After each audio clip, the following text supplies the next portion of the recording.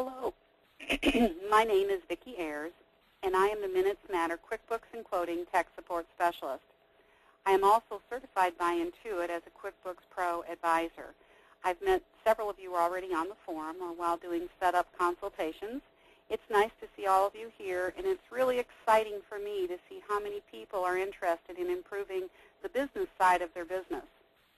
Today's webinar is going to be presented in two general sessions. The first one will run for about a half an hour, and then we will uh, start on the second session. In the first session, I'm going to be demonstrating QuickBooks and Quoting uh, system using the designer style quotes. Many design professionals get their yardage and labor information directly from their fabricator or workroom, and this information can be quickly and easily brought into the quote with no calculation required. So we're going to show some examples of quoting for window treatments, furniture, and um, then in the second session, we're going to show QuickBooks in quoting labor and yardage calculation style quoting. Fabricators find this that, um, absolutely invaluable to use. But even designers, occasionally your workroom isn't able to immediately get you a quote, and you'll want to use this style of quote. So it's good for you to see it and learn how to do it in addition to the quick way. Our industry has its own unique language and kinds of transactions. Minutes Matter recognizes you have some unique challenges when using QuickBooks, and we have created a method that will speed up your quoting and get you back to doing what you all do best. So here we've got an estimate that is open. and the first one we're going to show you, you know, step by step by step. I'll do that in just a minute, is the subcontract window treatment, which is for a uh, designer or someone who is selling a window treatment and you're going to get your labor and uh, yardage information directly from the fabricator. So we have a special group that we use specifically for that. And like I said, we'll go through this kind of quote step by step by step in just a moment. But one of the other examples that I wanted to show you was a um, furniture and delivery uh, quote. So we have a special kind of group we have lots of different kinds of groups, and uh, some of them are labor and yardage calculating, and then some of them are designed more for designers. So this furniture and delivery kind of group comes up, and we've got all these different items pre-loaded uh, in the group to come up automatically. So it prompts you to remember to charge for all these different things. Now these groups are set up ahead of time in QuickBooks and Quoting, but of course, you will want to refine them and tweak them so that they work for your business exactly like you like to work. And so all of those things can be fine-tuned by you even though it comes in in a certain way in QuickBooks and Quoting. And um, when you purchase QuickBooks and Quoting, you get a free hour of tech support to get it all set up, and get your company file set up, and get it all integrated into QuickBooks. So that's a really great feature because you can get over that learning curve very, very quickly. Let's take a look at another kind of group or sale that a designer would make. Wallpaper and installation. You can see that we have the wallpaper and the installation and delivery and shipping already loaded into this kind of group. And we're going to talk about groups in a lot more detail today, so if that's a, um, a term that you're not familiar with yet, you will be by the end of this hour. So let's go ahead and start looking at a blank estimate. Now, with everything else that you do in your business, the more things that you systematize, the quicker and more efficient that you will get at doing things. So I've developed a method that I teach called vertical quoting. And it's not about quoting for verticals for the window. It's a method of going into the quote, having a plan and an idea of exactly where you're going to go next. So what we do is we work up and down through these columns so that um, we stay in, our mind stays in the same kind of task. And we go from area 1, which is the header up here. We fill in all of these fields first, to area 2, which is the item column, and we work top to bottom. Then we go to the quantities, and we work top to bottom. And then we go to the description, and we work top to bottom. The last thing we do is work in Area 5, which is all five of these columns that deal with pricing. So that's what we're going to do now. I'm going to use my tab key to tab quickly through the fields in the top so I don't forget to deal with anything. I'm going to start typing my customer's name. We have her as practice customer. And then I'm going to choose the project or job that we're working on. And then that filled in a lot of things by default because I already had that customer set up. And um, so we're going to tab through all these fields. Estimate active, we want that to be checked. We don't need to do a print preview right now, so I'll just tab past that. We would choose a, a template that's appropriate.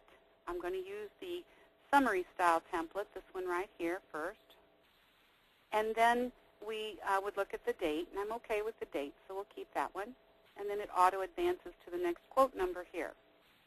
Arrowing or tabbing, you'll see that we're now in the address field. We don't need to change anything there. That was set up by default. And then, of course, we could we have our terms set up for this customer, but we could pick special terms if we wanted to at this point. Now, tabbing to the next field, some people use a delivery date field for their customer, and some people use it just for themselves. I kind of like having it um, for myself especially because it gives me a date, a target, that I would need to meet if I stayed within a certain number of weeks out on my job. So if I were going to put an anticipated delivery date in here of six weeks out, I can very quickly hit my K key. That's K for like the K at the end of the word week, and that will take me to the end of this week. Now to indicate six weeks out, if I wanted to stay within that time parameter for delivery, I would hit my K key six more times. Watch what happens. One, two, three, four, five, six. Isn't that cool? So you can use hotkeys like that, and we help teach you how uh, all about the different hotkeys that you can use in fields like that. Now I'm going to tab again into the first field in the body of the estimate, calling this Area 2. And we're going to work up and down deciding what we want to sell to our customer. But I call it the most important field in the entire quote because here's where we're going to decide what kind of group that we want to use to bring into this quote, what kind of quote we want to make. Now in your item list, in QuickBooks and quoting, you have an item list that has over somewhere between six and 700 items in it. And if you were going to scroll up, scroll down, scroll up when you were in your quote, trying to find all the different items that you wanted to use in your quote, it would take you a really long time. And that item list is represented right here with that drop-down arrow. See? Just lots of things to sell. So we have special kinds of items that are called group items. And it's kind of like having a basket full of items. We've already put all of these things into the basket that would be the most likely things you would use or sell when you did this particular kind of quote. So we've named all the groups to start with G, and the G dash groups, see we've got some other ones down here called GP dash. We'll talk about those in a minute. But the G dash groups, when we type G dash, we can choose one of those kinds of groups to do a certain kind of quote. Now this time we're going to choose the subcontract window treatment group.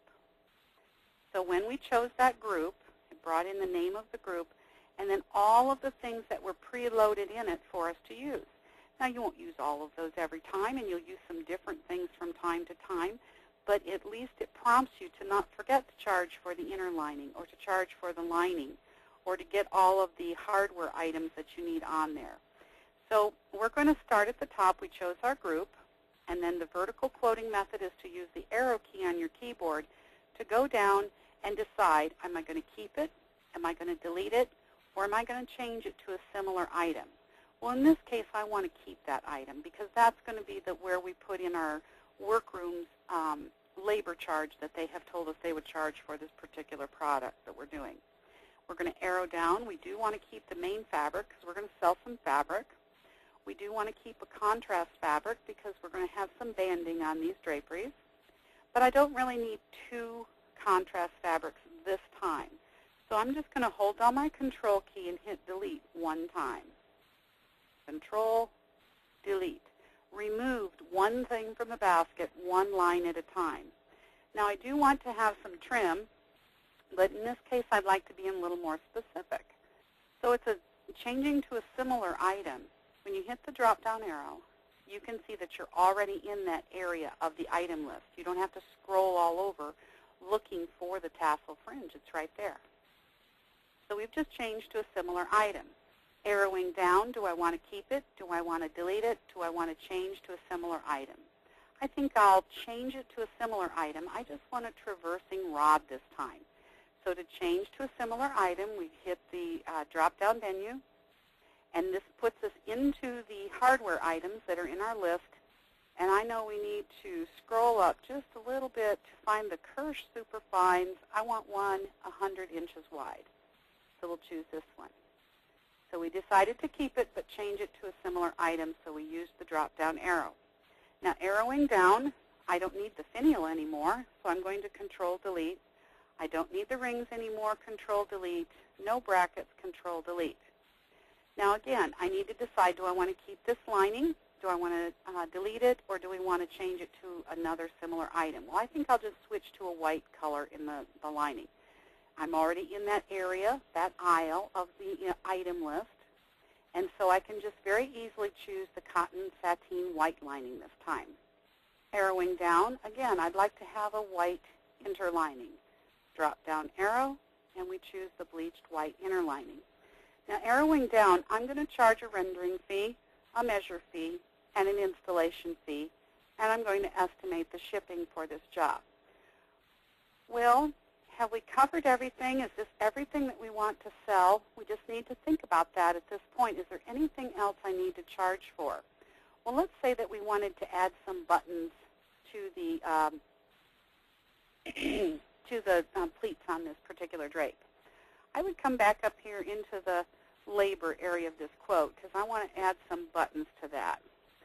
So I'm going to um, hit Control Insert. That's the opposite of Control Delete and I'm going to type 950, and then I'm going to choose my buttons here from the surcharge list. 950 just took me, took me to the place in the item list that I could choose the buttons.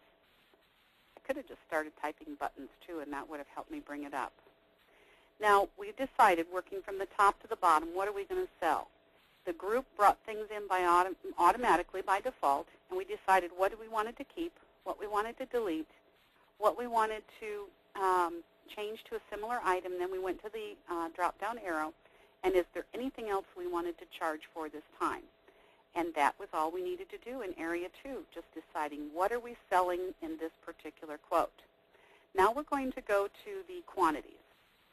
And we're going to work from the top to the bottom, again, calculating all of our quantities. And it's very easy if you've gotten a lot of your numbers from your fabricator. So there's one labor item, and then we're going to charge for, um, let's say, 18 different buttons. And the fabricator told us to get 21 yards of fabric, 4 yards of contrast fabric, 7 yards of trim. We're going to get one rod. We're going to match our lining with our fabric up there. And we're going to match our inner lining with that. One render fee, one measure fee. And if our, we, I know that our treatment is going to be 100 inches wide. So if we're going to charge by the linear foot for that, we can use the little calculator that's right there in that field. If I type 100, and then there's four keys that tell QuickBooks that we want to use the calculator. Shift 8 for the asterisk is times. The slash underneath your question mark is divide. And then, of course, there, is the plus and minus key that's up in the upper right-hand corner normally of your keyboard. So we're going to divide right now and use the slash see how it opens up the calculator. And we're going to type 12, and then we're going to hit Enter. And we get a rounding, a number that needs to be rounded. So it's 8.33333. And while it's still blue and highlighted, it's very easy to just change that to a 9 by typing 9. So we're going to charge for 9 linear feet. Now, that handles area 2. Can you see how easy that is when, you know, somebody else is giving you your numbers? You're just kind of plugging them in at this point. But now we need to describe everything.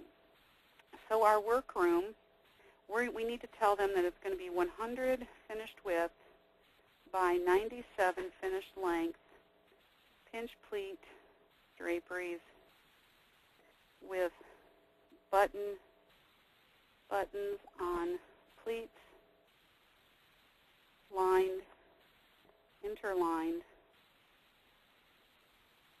one inch banding on lead edge with tassel fringe on banding edge. So we're just describing our treatment. Now this little note here about where to enter the total in, I think that's pretty obvious at this point. We've read it now, so we'll just remove that. It's not necessary anymore. And we've deleted that number. I'm just going to change my columns up here just a little bit. Shorten things up. That gets some, almost everything on this one line. Now, we're going to describe the rest of this uh, treatment by saying the buttons will be uh, number 35, um, covered with pink con contrast fabric. So the more information that you put here, the easier it will be later to look at it and know exactly what your plan was. Now for main fabric, we're going to say that this was Eastland, and it was red, and it is um, coming from cashmere. And then we'll make some notes on our contrast fabric. It is number 1234, uh, gold. Oh, I said it was pink, didn't I? Oh, that's going to be lovely draperies. And then we'll say that that is coming from Fabri-Cut. Now, for the tassel fringe, we would want to do the same thing. We're going to indicate that that is um, MN-678 in multi from Daqui. See what I'm doing here? I'm just customizing this quote so that it looks like and sounds like the job that I'm doing so that when you come back to look at it, there's no questions what your plan was. Now, arrowing down, we don't need to say anything more about the rest of these item descriptions until we get to this description right here. Because we chose a G- dash group, that G- dash indicates that this is going to be a summary style quilt, quote. And the customer is going to see this description and the grand total. They're not buying fabric and contrast fabric and fringe and a rod. They're buying a finished window treatment. So if I hit the print preview here, close the spelling, you can see that they will see this description and a grand total. It's a summary style quote. Now when we come in here, we want to um, really jazz up this description. We're going to say that it's for living, or oh, dining room, dining room, pinch, pleat, draperies, on patio doors. Um, and, and, then you just want to kind of uh, romance the treatment a little bit. It's going to be embroidered silk fabric with contrast buttons, blah, blah, blah, blah, blah, blah. So you'll have to, you know, that's what you, you guys don't really want to watch me type. You want to watch me demonstrate things. So I'm not going to finish that up. But I will show you how that when you go to print this for your customer, they will see, that's the description that they're going to see with the grand total. Now there is another kind of group that you can use. We give you the choice between both things in our quoting system. You can create summary style quotes or you can create uh, detail style quotes. Depending on your customer, you can decide which you want at that time. So um, it's when you choose the group, you choose a G dash if you want summary style, and you choose a GP dash, P standing for print item detail, and we'll take a look at one of those in just a moment also. But you can see how um, you've put all these things in, you've customized the descriptions, and then that's what the customer will see is this description. That is area four. So now we're going to move to area five, which is these last five cost columns over here, and we're just going to adjust all of our cost for these uh, items. So you talked to the, um, the fabricator, and they said it would be $475, so you type that one in. And you've already set up your pricing for buttons uh, with that person, so they're about 50 cents a piece cost.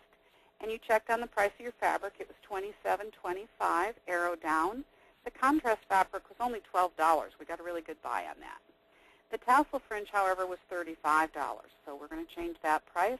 And we checked the price on our rods, and they are now $32.50.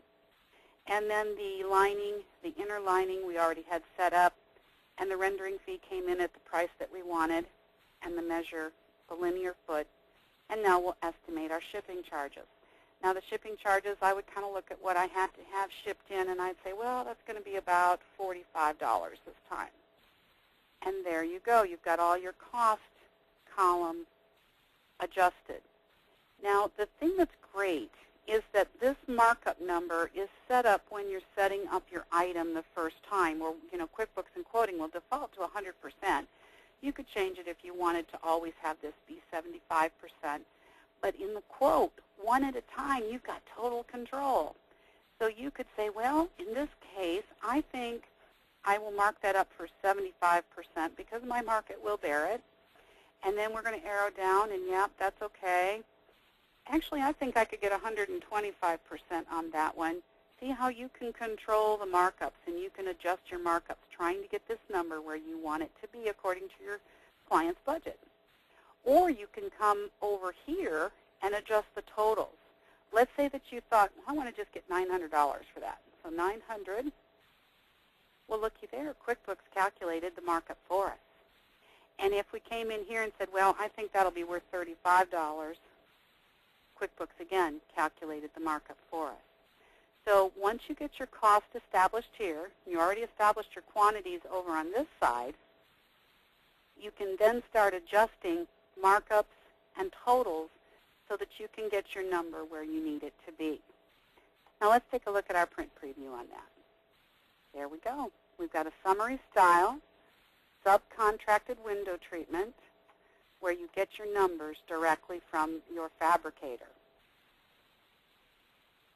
Lee or Anna, Anna's with us today to help with the questions. Is there anything that anybody had a question about at this point that I can clarify? Uh, yes, Vickie. Uh, we have someone that would like you to show one more time how you made the columns smaller and larger. it's the little things that are cool, it is isn't the, it? It is the little things. when you're in a in a, a screen where you've got a header like this, almost always you can come up in here and see where you've got this faint line right there next to the C in cost. And when I get my cursor over it and I get that little crosshairs, that means that I can click down right there and I can drag those columns however goofy I want them. But when you're working in your item list and working down through those, instead of hovering to see what everything is, it's really nice to just kind of change that column up and work around in there. And then when you're done working there, you can kind of slide it over and, um, you know, get your columns set like you like. Now, one reason that I really like to get everything on one line here is because it makes my letter function work nicer. So I've got all of this on one line now, and I'm going to go, I would like a detail copy for my file. It's okay to give my customer a summary style, but I don't really want to open up QuickBooks every time um, I, I want to see how I got to a certain number or how much fabric did I have there. So if you come up to letters, and then you choose in QuickBooks and Quoting, this little template is already customized for you. So you choose that one and then say Next. And you can ignore these because we don't really use those fields in this template. And then you say Next. Now QuickBooks is going out onto my computer and finding my Word program and opening it up. And it put everything that was on my table of the, the quote Remember over here? Everything that's right here in this screen, it popped it over here onto a letter. And the letter has been set up so that it just kind of um, uh, has the, the basic stuff that I need. And it's in a table format. Now remember, though, that these are cost numbers, so you want to be careful that you know this isn't something that you let anybody have. But um, it's great for your file to keep for your reference and um, it gives you a nice little detailed column, copy. The, the problem is it's a workaround, and it's not, you know, super perfect, but QuickBooks does not allow us to toggle between showing detail, not showing detail. Once you choose G- dash or GP-, dash, you have chosen a path, and you have to go down it. Otherwise, you have to start over. So you want to choose a G dash or GP dash when you're uh, thinking about whether your client needs to see all the detail or you want to have a summary style. So let's um, let's hit our previous button. I'll show you the GP dash uh, quote.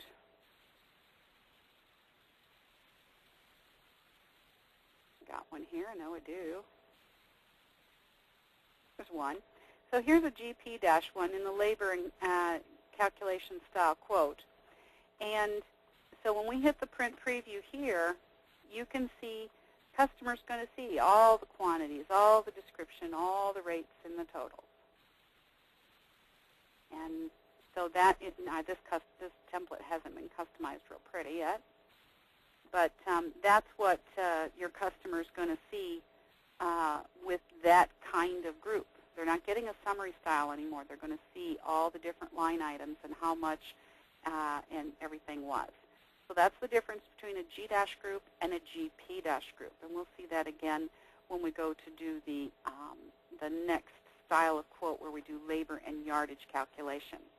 Are there any other questions, Anna, before I go on to that demonstration? Pretty much covered it. They There are questions, but you're going to be covering those, so we'll wait till you get to them. All right, I'll do that. So here we are in an empty estimate again, but this time we would like to um, calculate our labor and our yardage for this particular job. So again, we're going to do area 1 to area 5 because we've got a system, and systems make us fast and efficient. And so we're going to uh, tab our way through the top, choosing our customer. And we're going to tab to all the different fields, deciding what's okay. Well, that's good. We want that one. And then the date's okay. The quote number's all right. My address is okay. The terms, let's just change those terms this particular time. We would like her to give her net 60. She told us she was going to get a big check later on, but you know she'll pay us, and we're pretty good. She, pretty sure she will. Now I'm going to hit T to take that delivery date back to today. The delivery date went to today with the T, another cool hotkey. To take it to the end of this week, and then I'm going to hit it six more times. One, two, three, four, five, six. If we deliver within six weeks, it'll be May the 22nd. Now arrowing down, I'm going to choose G dash this time, and I'm going to choose the G dash drapery group. Well, that group is already preloaded with these things. They're the most commonly used things. A labor item for the pinch pleats, labor item for trim, banding, inner to, work with inner lining, and we can actually you know, calculate all those in a minute. So now again, using my arrow down key, I'm going to work myself from the top to the bottom, deciding what to sell this customer. That's all we're deciding is what do we want to sell. Well, we do want to sell some pinch pleat um, labor. We oh no, this is not good. That item has been switched up. See that the yardage has been taken out of that item, so I'm going to switch to a uh, pencil pleat drapery because this is the way the item should come in. This particular company file must have been edited to show somebody something in a class.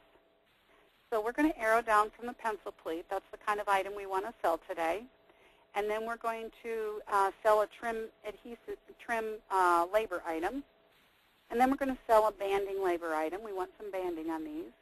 They are going to be inner lined, so you have to charge extra for your, uh, using the inner lining product.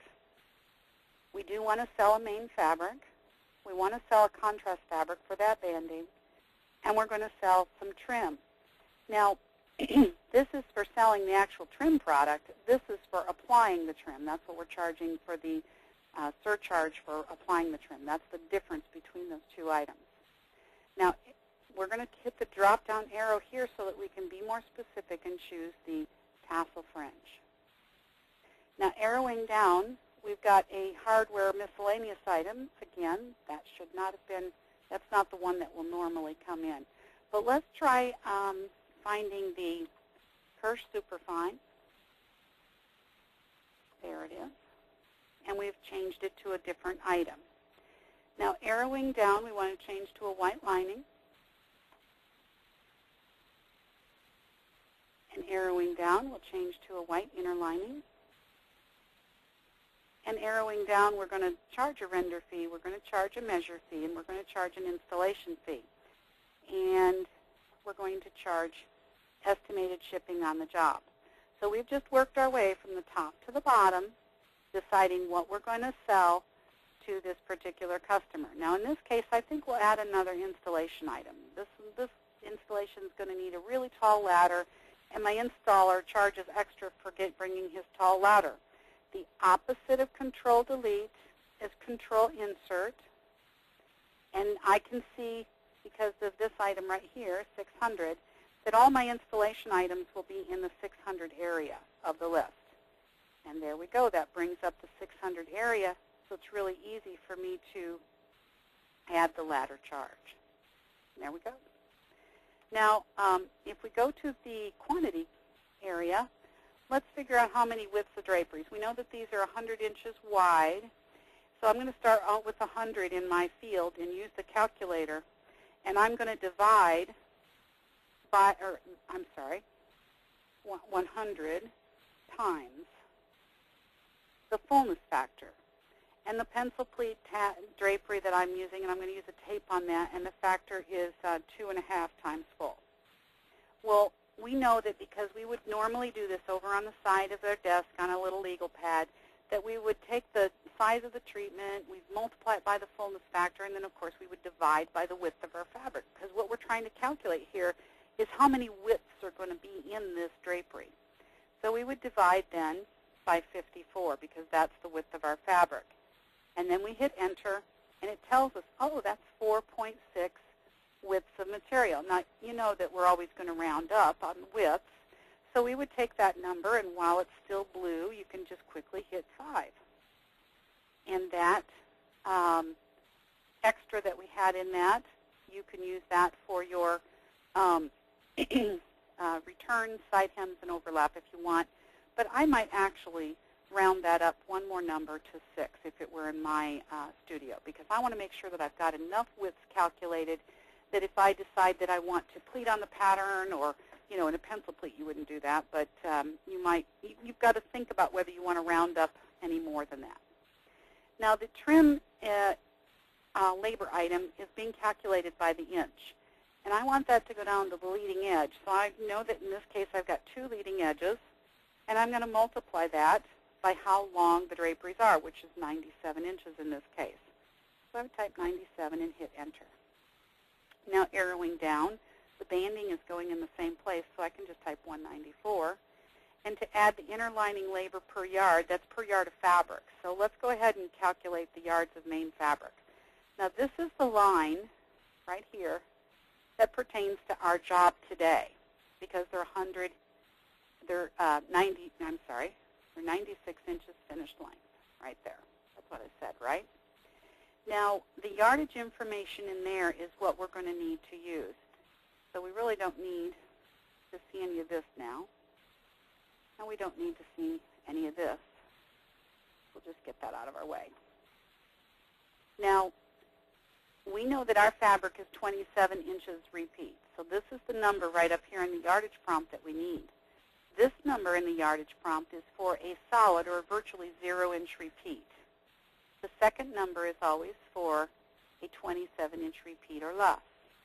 So if we come into this field and we tighten its per width, that yardage number, a 6, because we've got 6 widths, and we multiply it by 3, means that we need 18 yards. That means we need to charge for 18 yards of inner lining labor per yard. And then the contrasting fabric is for the banding. And this banding information right here means this. We will always assume that you want that banding on the lead edge in a drapery panel. We will also assume that you want it to be seamless. So we're going to tell you how much yardage it's going to take to do up to 10 panels or 10 leading edges seamless, and that would take 3 yards. So we'll come right here into the contrast fabric and type a 3. The, same, the number for the tassel fringe, again, is up here. How much trim? Again, we're going to assume that you want it on the lead edge of a drapery. And uh, we've calculated that it will take 3 yards. So um, per width. So we could use the calculator, but probably we can figure in our head that we got two leading edges, so that's six yards of trim. Now right here, we got uh, the traverse rod. We know that we need one. We know that we need 18 yards of lining, 18 yards of inner lining, one render fee, one measure fee, one ladder fee, and the 100 inches of the drapery, that's how wide it is, divided by 12 for the running foot, enter, round it up to 9, and you're done with the quantities. So now you're ready to go on and just make all of those descriptions like we did prior. 96, whoops, 96 finished length. And um, we're going to come down here and describe that the trim is a tassel fringe along lead edge banding. And then the banding is going to be one inch banding set in one inch from lead edge. So you're just, you know, telling uh, the quote or putting into the quote what you intend to do. And again, we would want to do the same thing for the main fabric, the contrast fabric, and the tassel fringe that we did on the other quote where we added all of those uh, particulars about the, the, the uh, fabric. Um, but I, in the interest of time, I'm going to skip that here. And we'll go on down. And there's really not much that needs to be customized as far as the description until, of course, you get to this um, description at the bottom because that's what our customer is going to see, right? So um, you would want to customize that, telling about the fabric and all the details and what kind of drapers they're getting and how many windows and so on and so forth. Then, of course, we get to Area 5, which is this five columns at the end. And you want to run down through, double-checking your um, cost numbers. And um, all of these look pretty good. Until we get to the fabric, we need to fine-tune those numbers with our actual fabric and this one will do 1250. And then we've got tassel fringe that was 27. And then our rods we checked with 3250 this time. And then the cotton sateen lining was already set up. You would want the inner lining already set up, the render fee, the measure fee, ladder fee per linear foot, and the shipping charges will estimate at $55. And so once you work through your cost column in you know area 5 back here, then it's time to start tweaking your markups or changing your totals so that your markup calculates and then you get your number where you want it to be down here. So that's how fast and how easy it is to create a labor and yardage calculation style quote because you've already got everything all set up in your item list to use. And this, again, is a summary style quote. So this one right here, um, because you've got the group already created, it defaulted and, and told you, kind of prompted you to charge for different things. You changed all your descriptions here, and you set up all your quantities, and then you were ready to work with pricing. Vertical quoting, when you work through column work from the top to the bottom, your brain likes to stay in a certain kind of task. So if you're over and over and over again deciding what to sell, what to sell, what to sell, as you work through the item column, you'll get very fast and very efficient because you don't get sidetracked thinking about pricing at that point. So um, that is the labor and yardage calculation style. Do we have any questions, Anna? Vickie, one thing is I would like you to clarify a little bit more about the two-inch banding where it's three oh. yards equals 10 panels? Mm-hmm. This number, if you're, if you're looking at the yardage information in an item, we set up each one of those numbers to, by default to work kind of the same way every time you see it. If you see these two numbers in parentheses, however this particular product is being sold, which in this case is a width of material. So pinch pleat drapery labor is sold by a width of material. So for each width of material, you would need three yards if the fabric is a solid or virtually zero-inch repeat. You know, some of those little patterns that got like an eighth-inch repeat, they'll tell you. Well, that would, you know, use this number.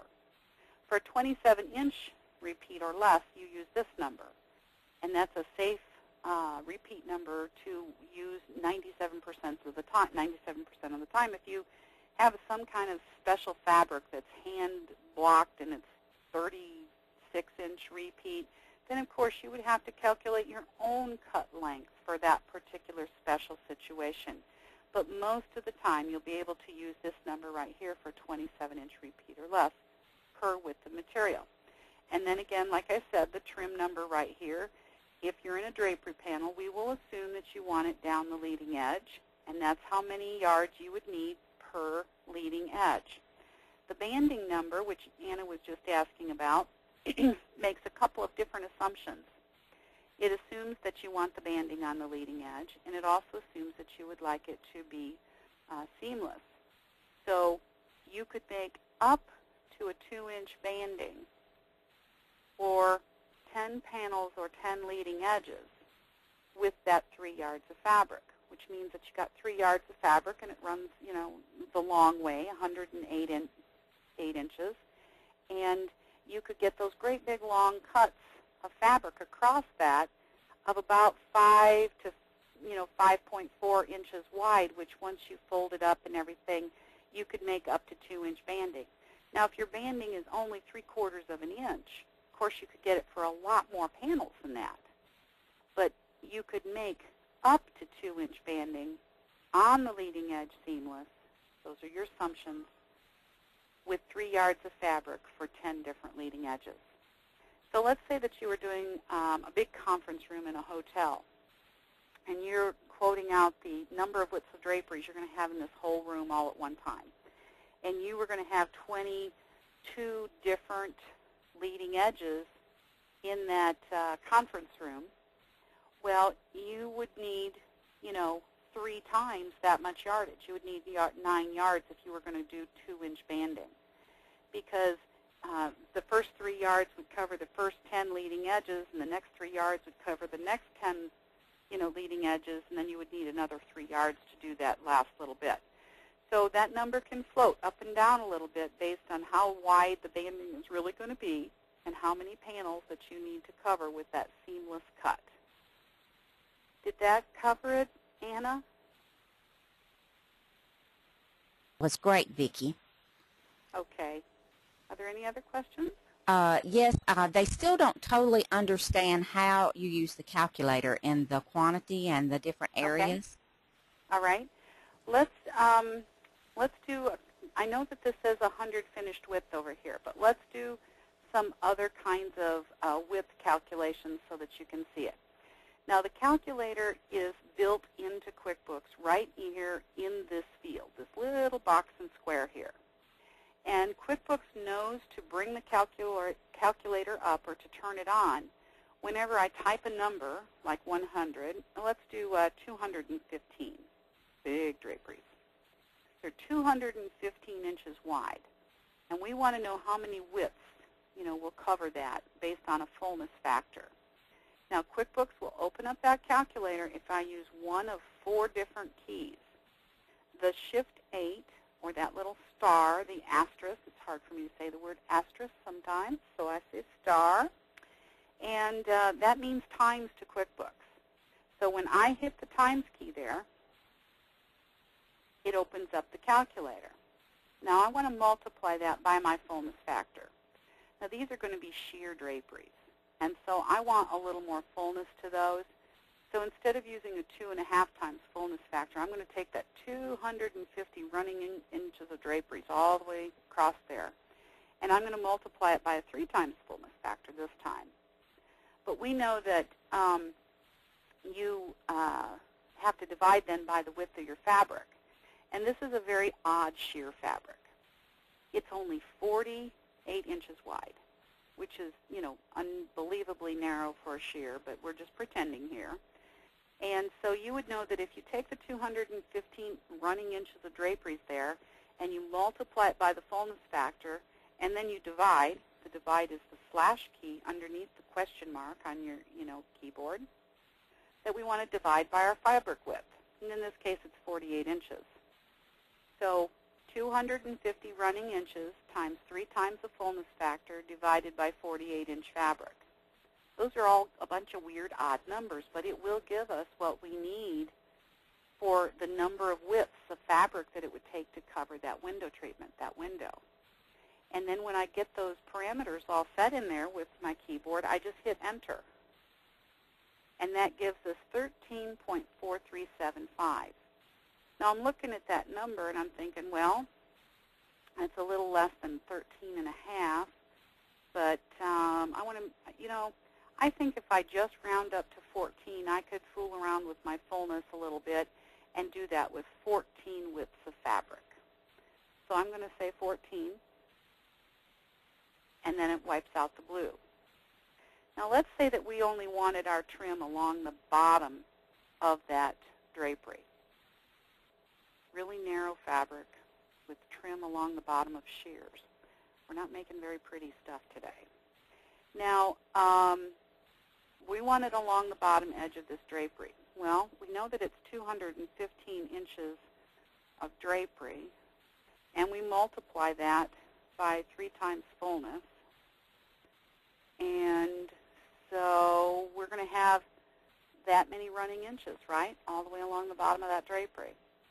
So when I hit enter here, it's going to be 645 inches.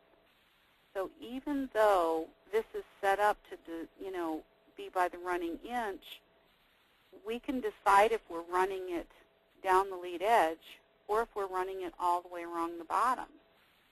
So the 645 is, is, you know, we would come back in here along our description and say that it's running along the bottom edge of the drapery now. But the thing that to remember is that the calculator is in this number field.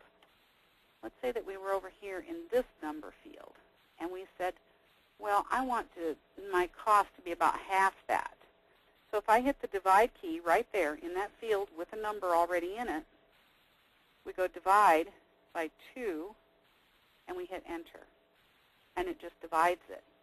Any place that there is a number, if we say we want to multiply this one by 1.25, adding on about 25%, there we've got that. So you can, let's say that we wanted to add $3 to this plus $3, and you've got 30. Now, we, we, don't want to change that. Okay. So the calculator will work in any number field, has all kinds of uses. When you're in a bill or a check or something, and you're just trying to subtract something from something else, and you know you can do it right there in the field that's on the screen in QuickBooks. It is a very, very cool feature to learn to um, um, to use. It, it, it, will it'll be something you use over and over and over again in lots of different transactions. Anna? I have one more question. Uh, they're wanting to know that if they have got the G codes, but they don't have the GP codes, how do they okay. go about getting those? All right. If you have in your item list, let's go there again down here at the bottom is where all of your groups are kind of, you know, listed together. And see how I've got uh, G, I've got one GP code up here. Like I said, I was demonstrating something to somebody. You've got all these G dash codes, but now you want to have these GP ones that print the item detail. Once you have your G dash ones all set up just like you like, like let's go in and fix this G dash drapery one that I said had a few errors like this one uh, right here. Let's change that out with the um, with the pencil pleat to come in by default. So I just changed that group to have a pencil pleat in there instead. We had a hardware one down here that was wrong. Oh, don't send. Oh, don't shut me down. I must have clicked too many times and QuickBooks closed on me But we will open it right back up very quickly. QuickBooks always opens the last company file that you had open by default. So here it is. And then we're going to go back into our item list. And we'll go back down to the groups. And since it didn't like what I was doing there before, we're going to do something different. We will go to the uh, G-balance one. And we want to create a GP dash balance one. And I'm going to right-click on this one, and I'm going to delete that item because I want to make it again. So now I want a GP dash balance one. So I know that I have this one exactly like I like it. All of the items that I want in there are the ones that I want. But I want one that prints now. So right-click and duplicate the item. Creates one exactly like the other one. We can't have something with the same name. So QuickBooks puts in dupe just so that it has a unique name, but we want our unique name to be GP. So I duplicated it, and then I changed the name to be GPAT, GP-Balance. Now, the P does not make it print. This button makes it print. So now I have a group exactly like my G-Balance one, only I've said uh, this time I want the GP one, the new one I just made, I want it to print all the items in the group. And then we say OK. And that's how easy it is if you have 2009 QuickBooks or newer. Doesn't matter if it's Pro or Premier, it just needs to be 2009 or newer. If you don't have 2009, you will have to, um, and I'm going to drag that back down into the area it needs to be just like that by grabbing the little, um, the little diamond there, and I can drag it down. If you have 2009 or, or if you have 2008 or older, you will want to right-click, choose New, and you'll have to set up your group just like the other one was set up. You'll have to give it a name, give it a description, click on the print, and then load up the items that you want into the group. Now, I, on that note, I will say that 2007 QuickBooks is is set to be sunsetted in in May of this year, meaning that QuickBooks will no longer support it with any updates. They won't fix little, you know, tweaky problems. If you call in for support, they're not going to want to talk to you about it. So it's really important that you get those updates from QuickBooks on a periodic basis. That's where they fix things that are funny. And if you're in 2007 past May, you will no longer get those anymore, and it's, it's really important that you upgrade to uh, either 2010 or, you know, if you want to live on the edge, you could wait until 2011 came out. But um, I, I really wouldn't recommend it. We recommend that you update your, your QuickBooks program every two to three years and if you're in 2007, you were really set to upgrade with 2010. 2011 will come out sometime in the fall. They never give us a firm date because, like every you know software developer, they're still working out the bugs in it. And so um, uh, 2010 would be a good upgrade for you because it will get you a lot of those features like the one I just showed you about duplicating items that came out in 2009. And then there's some other very cool things in 2010. Anna, we're very, getting very close to the end of our hour. Is there anything else that people would like to see before we um, close today? No, you've covered it all. Well, I hope so. and I know that there's there's no way that I can cover everything that everybody wants to see in an hour. So remember that you can always go to, if you're a QuickBooks and Quoting customer, you can always go to the forum to ask questions or search for answers there, and that's always free. If you ever want to, um, you can always email me at Vickie, V-I-C-K-I-E, at minutesmatter.com. That's always free. I'll answer your questions, at least the ones that I can by email. And then uh, you can always order extra tech support time directly, one-on-one, uh, very similar to the, the way that we did this GoToMeeting today by calling uh, the office or ordering it online on the website. So um, we uh, have the next free webinar will be on May the 5th at 1 o'clock Eastern Time again. And there's also a studio webinar coming up this month on April 14th. Again, it's at 1 o'clock Eastern Time. And uh, I know that you'll want to take advantage of uh, those, both of those demonstrations coming up. And if you have any questions about QuickBooks and quoting or about your QuickBooks, uh, feel, feel free to contact me. I'd love to help you. Thank you, Anna and Lee, both for your help today. I really appreciate everyone who's come in to learn something today, and I, I hope that I've made QuickBooks easier for you somehow today. Thank you so much. We'll see you soon.